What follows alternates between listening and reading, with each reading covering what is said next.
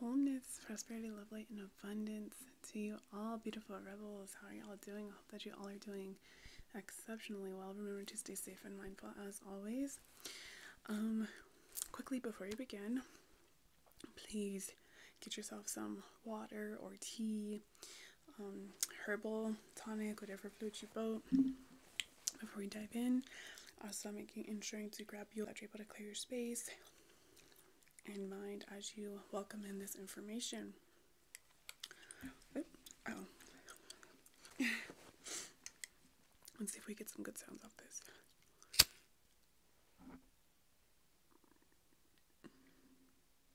So I didn't do it this time.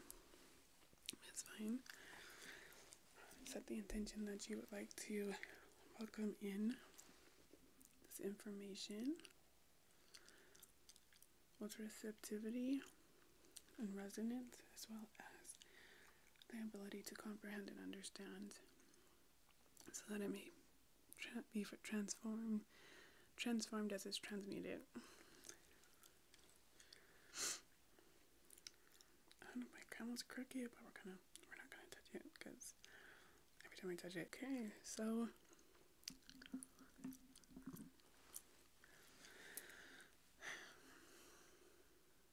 this video I had to sit with for a minute. The idea for this video um, is mainly because I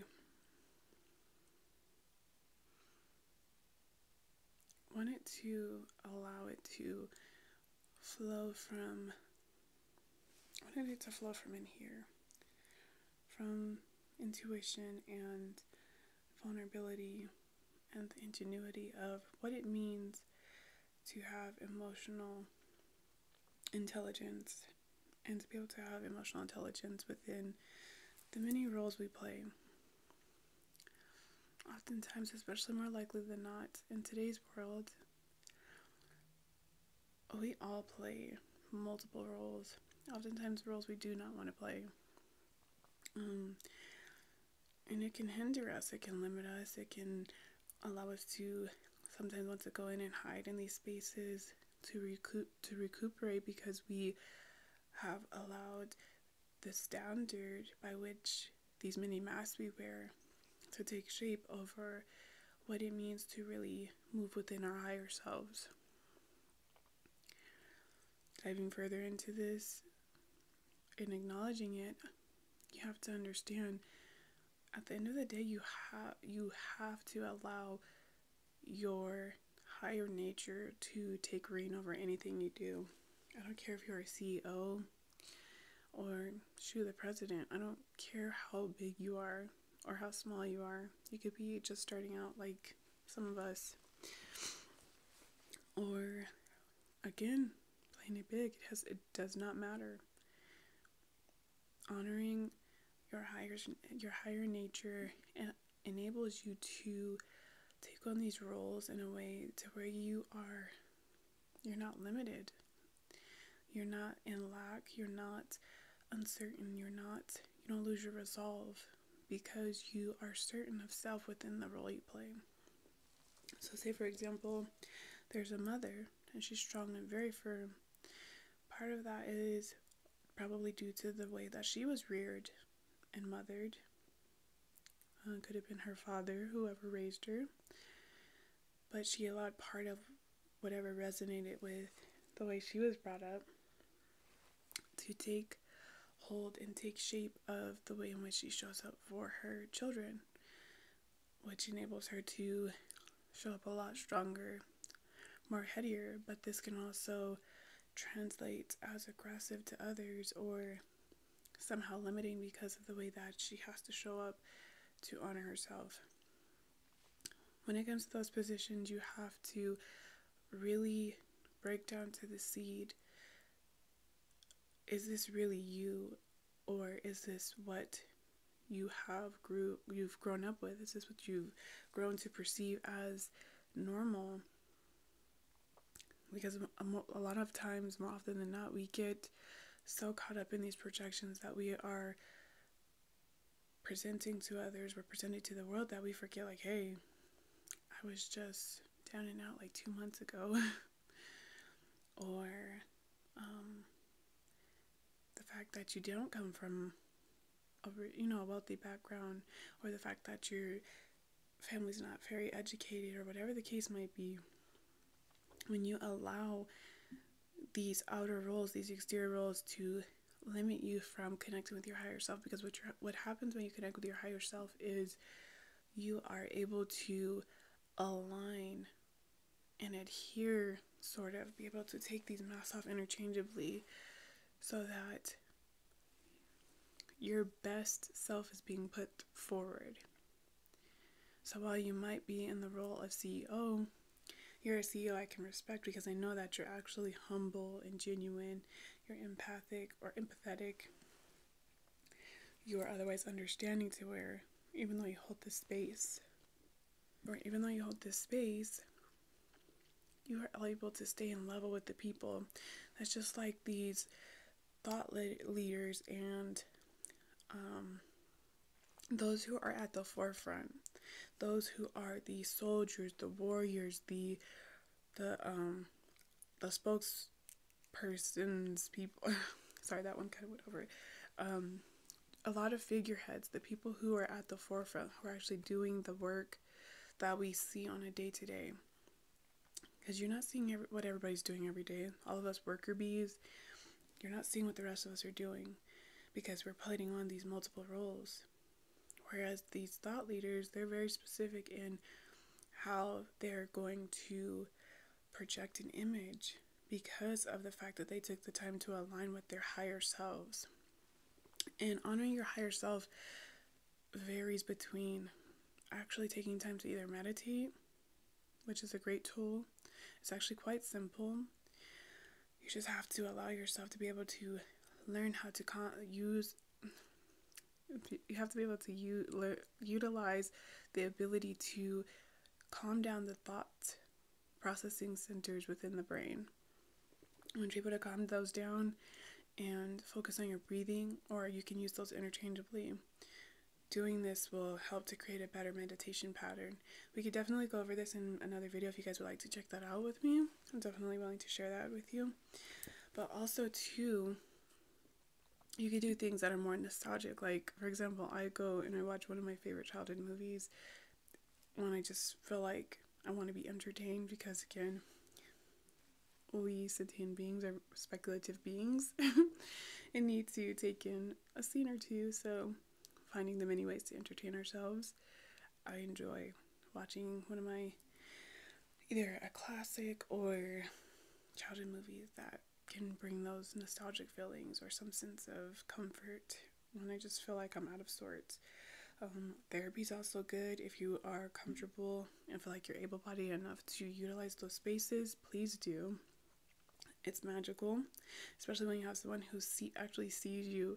I had a therapist like she it was crazy. Her technique was amazing because she literally the way she did it was just I don't know. I just I loved the way that she worked with me for years. Um, also, doing things like going into nature is a way to get back into alignment with your higher self. Your higher self is just your your actual essence of who you are, what's in this physical body. Believe it or not, because we aren't taught this enough or reminded of this enough, but we have more than one body. And again, not honoring the fact that you have more than one body is a disservice to the many roles you play. It's, it's just a fact. It is limiting. It can stump your growth. I know that I fell into patterns where I've go, gone back into introverted states because I couldn't, it didn't, mm, things weren't registering. It wasn't matching up. It didn't sit right with the rest of the process I was going through. And it's funny because now that I'm learning these things, even though I'm where I'm at right now, I feel more equipped to share this with you than ever. I sat I've sat with this for a good amount of time, so the fact that I was able to sit with this for so long and share it now and not feel as equal, like there's certain tools I don't have right now that I would like to have for this space, but at the same time, the message the message is source guided. So I feel highly more equipped to share this with you guys. It's just from doing the work, taking the time to actually dig deeper into self, allowing yourself to become aware of things that you otherwise would ignore. Stop hindering yourselves to limitation and um, distractions that inevitably leave you stumped or where you have to continuously perpetuate the cycle of inner work. Because that is a very real thing. Not honoring your higher self is limiting the many roles that you play. I don't care if you are a parent or um, someone who just, like, you don't do anything at all. You just hang out at home. I don't care what you do. If you are not taking the time to do that work, nothing else you do is going to matter. Nothing else you say, I don't care how much money you have, don't have, it's not going to matter. It's just a well known fact. And it's interesting to think about how many roles we play now because I feel like we all play so many more roles than we played back in, like, say, the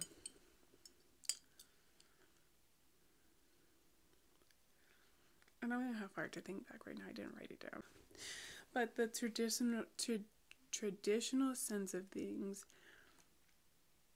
I feel like certain aspects of of the way in which we did things way back when are better put for some of us simple simple folk.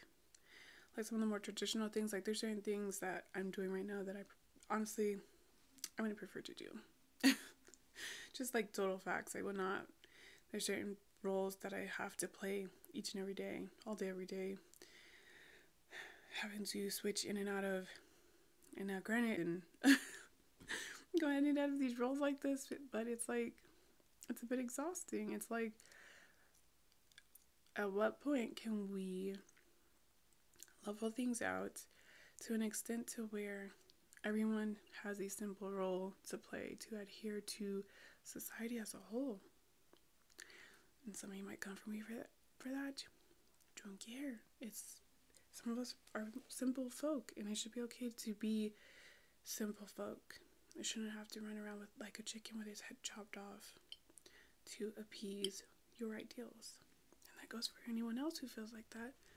I'm rooting for you. I know this one was a bit short.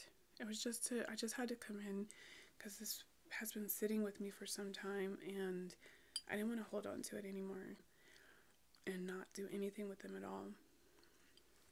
So I hope that there was something within this that resonated with you, that you're able to take and adhere and apply it to your daily lifestyle, that you're able to really see the information for what it is, even if it sounds a bit rambly or not.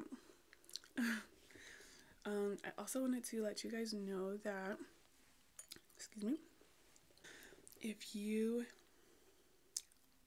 are an OG here, if you've been in tune for a while, if you've been tapped into my any of my social medias, you'll see the name Subtle Rebel and everything. But we have some exciting. Mm-mm. We have some exciting news. We are about to launch the new vibe, and I'm so excited. I really hope that you guys will be in tune for that. I feel like it's going to be, I think we're going to dedicate like a whole live to it. I don't know if I want to do it over on Instagram or here on YouTube. We will definitely do a vote. If you guys want to vote down in the comment section, you definitely do that to see which would you prefer. I can probably, mm, I could probably film them both. I don't know for sure. I'm the most active on Instagram and Threads now. I like Threads a lot.